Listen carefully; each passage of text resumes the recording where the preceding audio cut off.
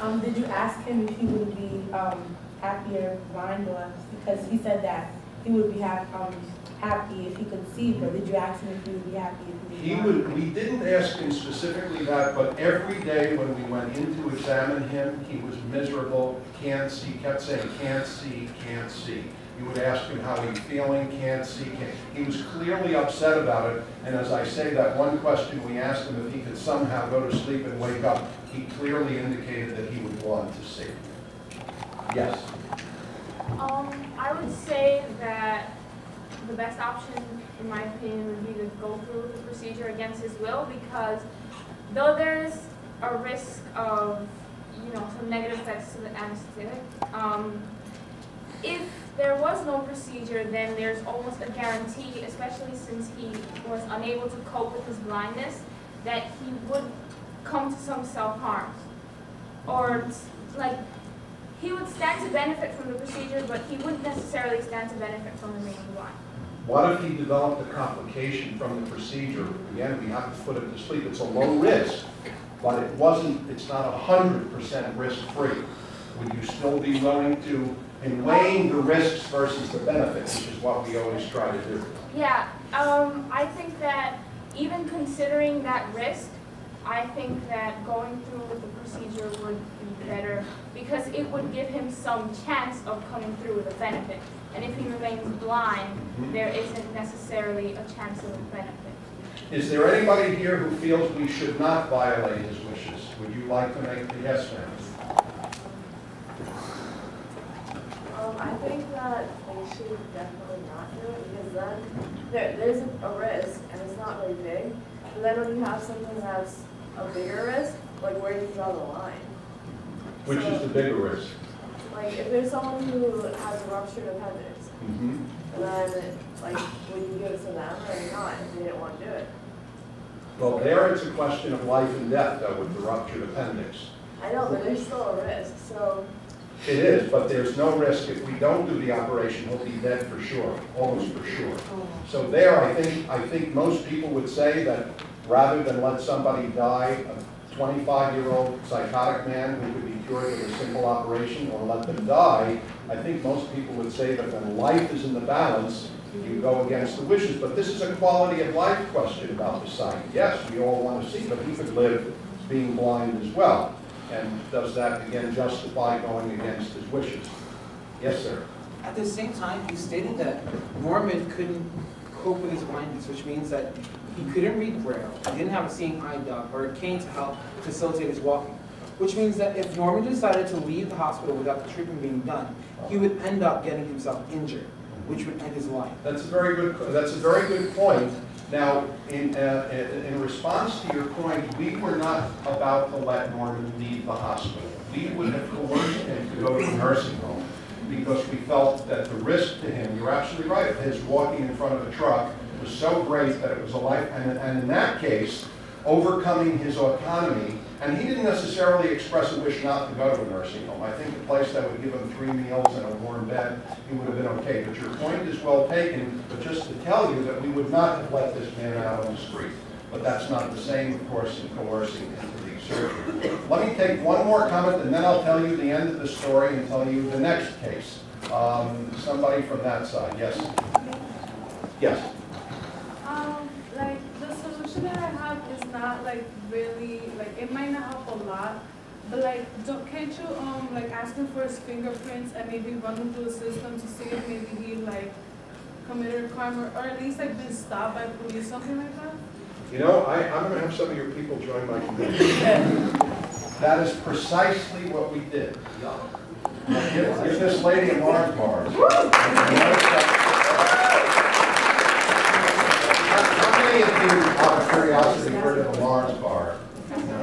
It used to be, when I was a kid, when somebody made a brilliant thing, they'd give that man a Mars bar. It's like a candy. Anyway, we, we had a social worker who called the police. And actually, she was very persistent because the first she called many times, they didn't come. The police finally came and they fingerprinted Norman. And they identified Norman. He had had a couple of brushes with the law over some trivial things. And we were able to identify him and we were able to call up his sister who lived in Rochester, I believe, and when she got the call, she cried because she hadn't heard from her brother in 10 years, and we had found Norman. And not only that, but the sister was his legal guardian. And so the legal guardian has the right to give permission for surgery.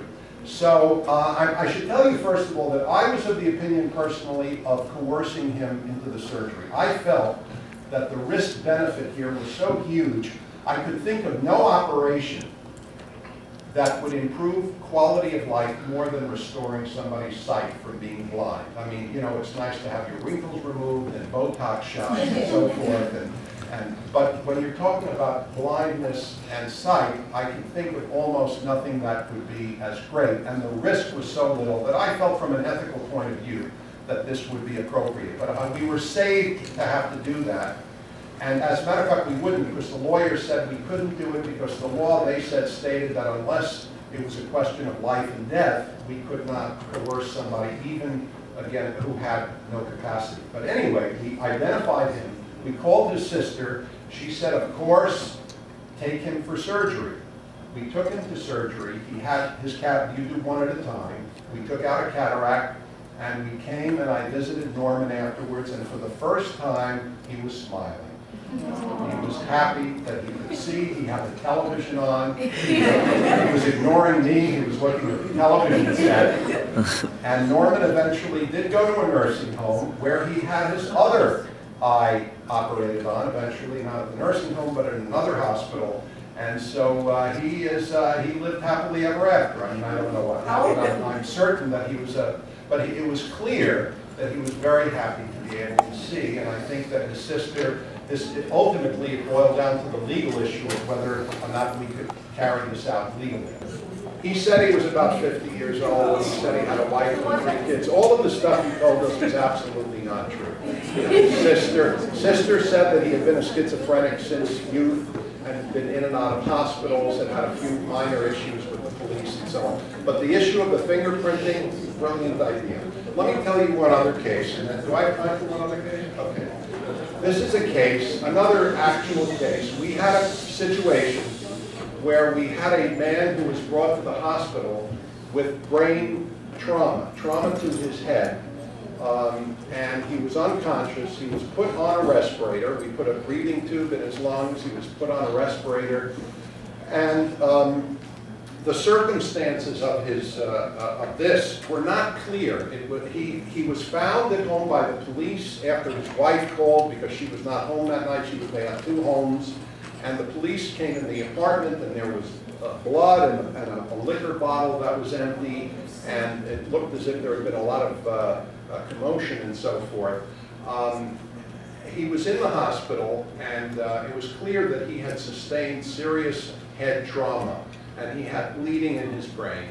And the wife of this patient was also his, what we call a healthcare proxy, or a healthcare agent. What that means is this.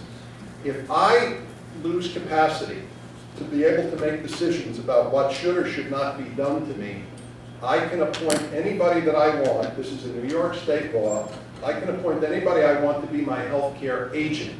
That person has the legal power to make decisions about my medical care, yes operation, no, even to withdraw life support. Because the law says that when I lose capacity, I should not be deprived of the right of making life and death decisions about myself. But since I can't make it, I'm given the opportunity ahead of time when I have capacity to appoint somebody in writing. It's a form that says I appoint so-and-so, there are two witnesses, it's a simple form. That person now has the legal right to say what should or should not be done. Now,